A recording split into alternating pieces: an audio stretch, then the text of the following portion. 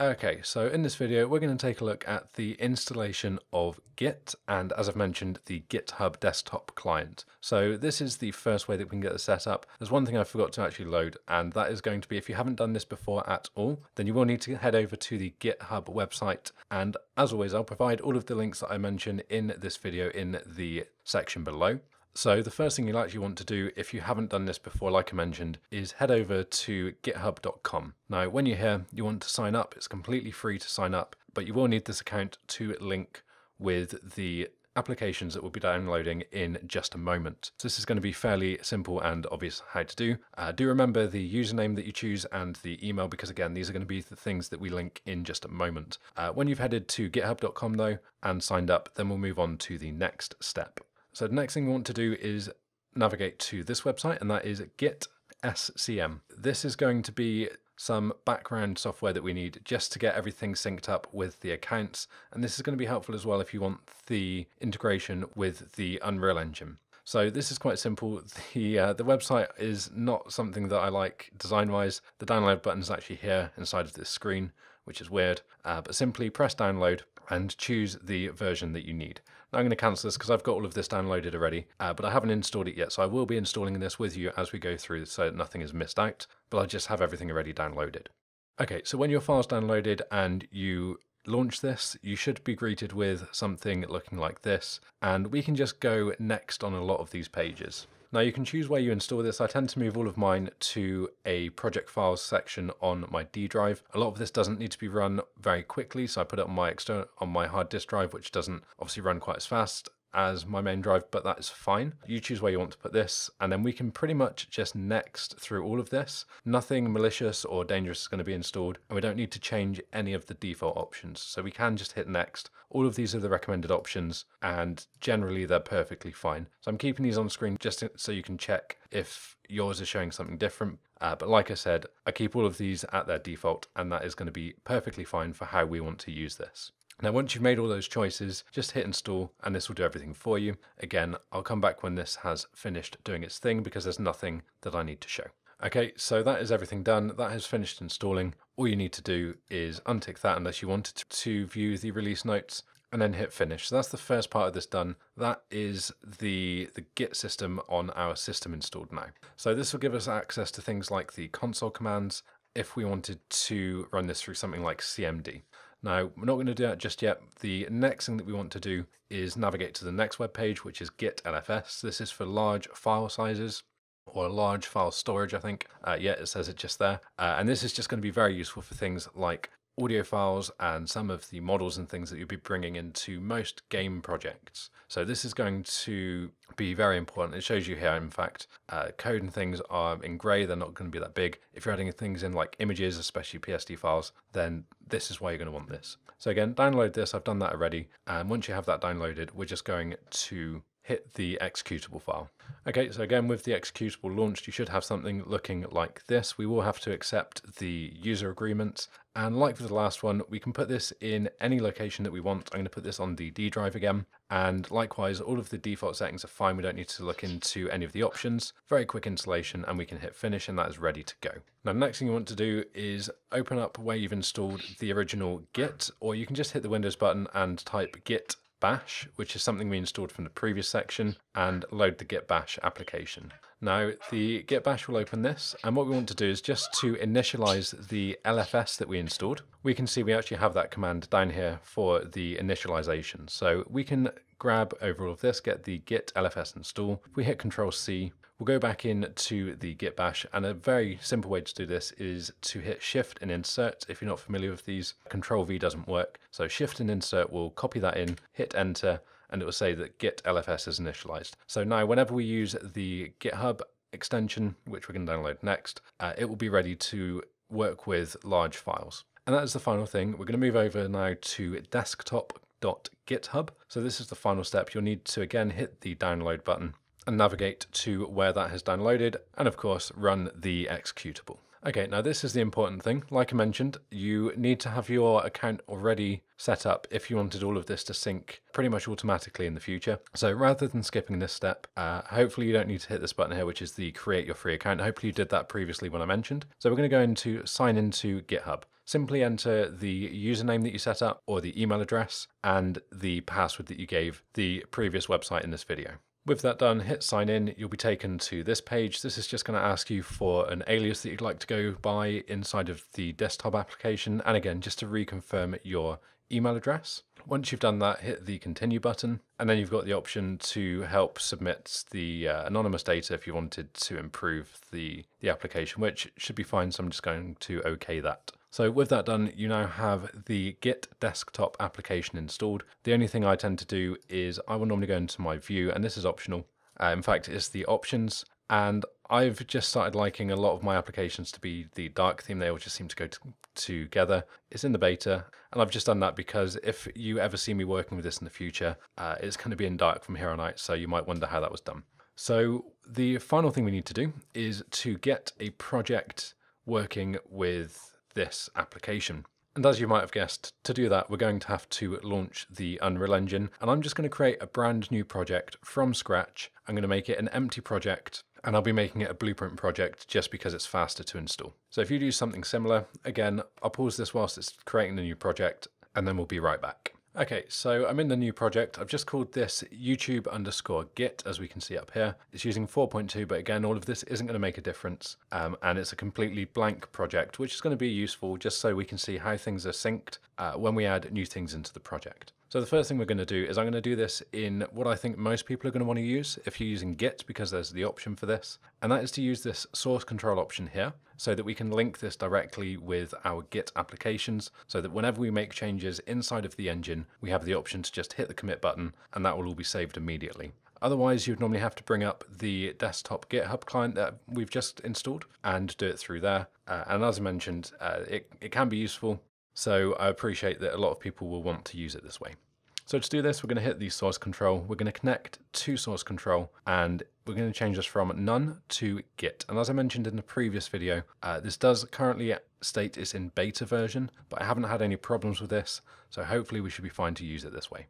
Now, I believe if you left your installation in the standard folder, the C drive, it may know where this is, but as I didn't, uh, we just need to navigate to that and find the project file location. So remember where you installed Git and navigate there now.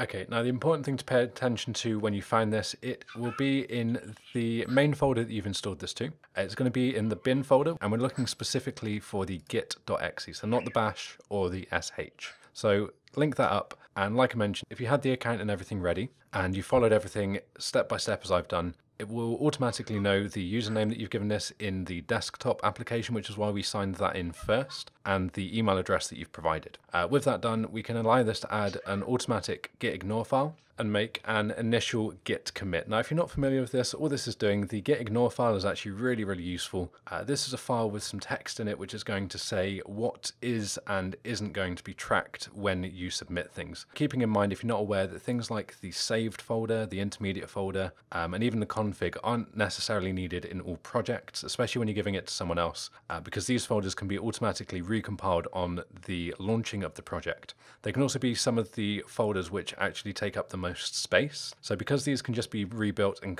uh, compiled on the fly when you load the project, you don't need to track things like that in GitHub. So this is going to keep your project size down online and stop you reaching the data limit so quickly. So that's what the git ignore files are for and we can take a look at those after and I'll show you where it gets generated. And the initial commit, this is just going to be the first commit that gets pushed to the application with the first bit of information, which in this case is going to be the blank project. So if we initialize the project with git and accept the settings, then we can see that's all gone through. We've got all the ticks we wanted down there. And that is now linked with the git application. So the first thing to do is if we go back to the content folder, I'm just going to right click on this and show in Explorer so that we can find this quickly. Uh, we'll go back one step and we can see here we now have a file which has no name and this is our git ignore. These files don't have a name and if we click into it, it is of type git ignore. And I'm just going to open this with Sublime Text. You can use something like Notepad or whatever you have installed. It should be human readable, come up in a normal uh, text format.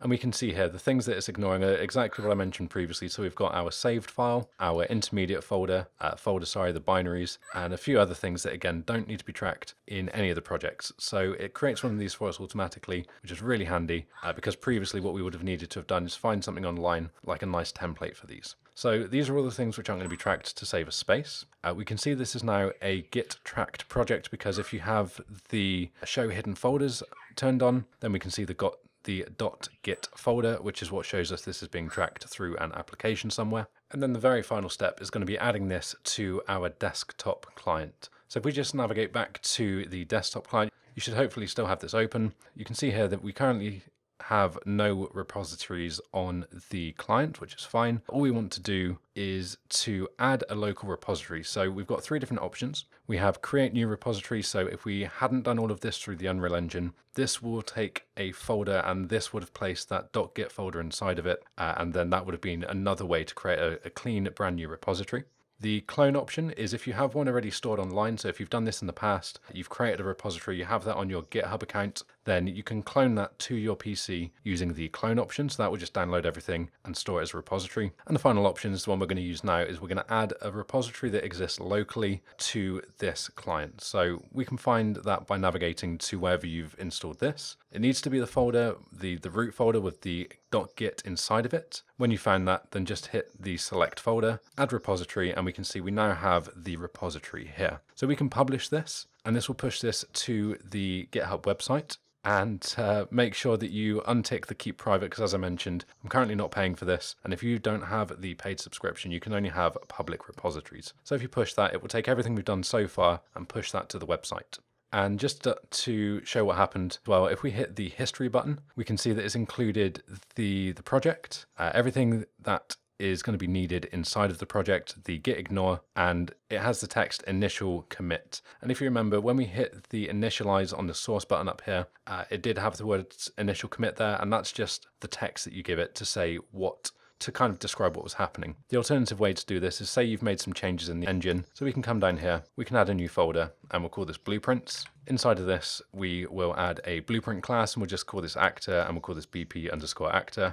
Now we can see that this has been added by this uh, plus sign here. So that's ready to be added to the repository. And we've got two ways that we can add this when we now know that we want to track this. So we can go to our source control button and we can submit to source control, but we've already kind of seen how that works. So I'm just going to load up the desktop client so that I can show you the other way that we can add this. So the summary is exactly what this is. The initial commit is the summary. So we need to type this in and we'll just say that this is the uh, new assets added. In fact, I'll just say that's the new test assets added. We commit that to master. And then if we push this to the origin, again, this is going to push everything that we've just done up to the server. So we now have everything stored. So again, if we go now back over to the history, we now have the second commit that we have, which is the new test assets added. You tend to want to make this slightly more descriptive so it helps you tracking down bugs. Say you're adding a whole new feature into the project and something broke it, you can go back through uh, some well documented commits and you can say, right, okay, this is when we added in the double jump and now jumping doesn't work at all. You can revert back to that and see what, what it is that's been changed and try and fix it. So this is again another really good reason to use these. But yeah, that's how you would use and make commits through the desktop application if you didn't want to use everything automatically this way. Uh, like I said, otherwise you just hit the submit, type the same thing in there what's happened uh, and the details, and you're ready to go. Okay, and the final thing before we wrap this up, we are getting there, is to check that all of this has worked over on GitHub. So go back to the same link I gave you previously, make sure that you signed in, and you can see your list of repositories on the main page. Now, some of these are the things I've worked on, but this is the important one. We're going to go to YouTube underscore Git, and what we should be expecting to see are our two commits. So we can already see, in fact, we've got the git ignore, the config file, and the blueprints folder. Inside of the blueprints folder, we've got that one actor that we've created. And we can see if we go back here, we have our two commits as well. So we can see what they were and they sync up perfectly, which is the initial commit and the new test assets added. So that has all worked. Uh, we've got everything that we've tested and the project is now secure and backed up somewhere online for us to access. So that's the basics of getting the GitHub option set up. So as I said, we've covered GitHub, uh, the Git client and the desktop client and integrating this directly with Unreal. So hopefully you've seen all of the different ways that you can integrate Git with your projects. And like I mentioned, now that you've got that signed up uh, with the account and the basics installed to your system, super easy to set up. We've got past the stage where you would have had to been writing a lot of console commands to get all of this to sync up and add it into your project. So it's very, very simple. And now, now that you know how to do this, it'll probably take you a few minutes in the future for any future projects, and it's definitely worth doing. So I'll leave that video here. As always, if you've enjoyed the video or find it useful, please do leave a like and share the video around. That always helps. Don't forget to hit the subscribe button to be kept up to date with any of the content from any of the playlists on the channel. And as ever, thanks for watching, and I'll see you all next time.